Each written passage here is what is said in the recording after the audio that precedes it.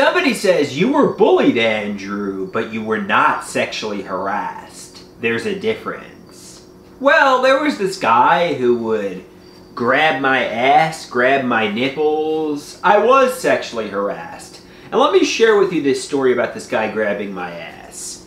So basically, in high school, there was this guy who was a football player who would repeatedly grab my ass in the school cafeteria, in the lunchroom, and he was sexually harassing me. So much so that I went to the principal and told the principal how the guy was grabbing my ass.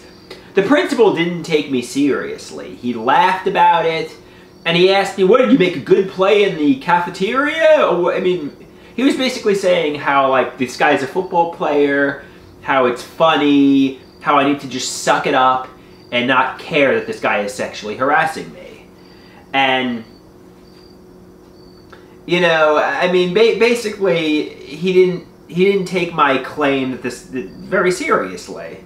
Somebody says, you know, should the principal have gotten fired for? I don't, I don't know. I mean, it's it's just something that happens in high school, I guess.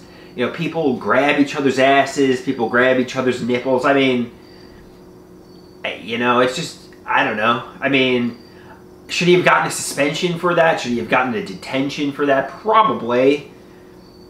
Um, I mean, did it bother me? Yes.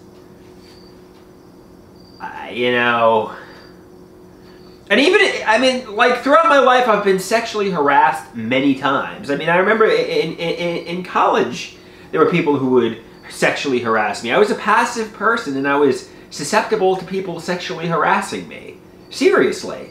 Um, you know, they would they would grab me, like, and even in the even in the oh, oh, I would get grabbed, and, and, and you know, pe people would sexually harass and bully me all throughout middle, high school, and even in college. I mean, I just I just said, oh, I mean, and I I, I didn't do it. I mean, like I didn't retaliate. These people they were doing it to bully me. They were they were sexually harassing me to bully me. You know.